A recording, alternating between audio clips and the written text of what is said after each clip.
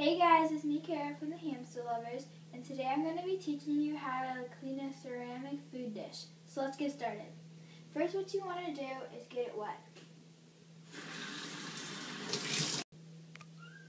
Next what you want to do is get like a dish rag and get it wet.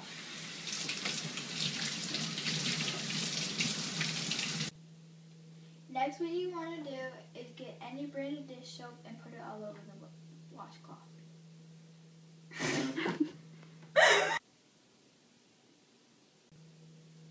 Now that you have your dish soaked washcloth, rub it all over the bowl until it's squeaky clean. Next what you want to do is rinse out the bowl. Next, dry it.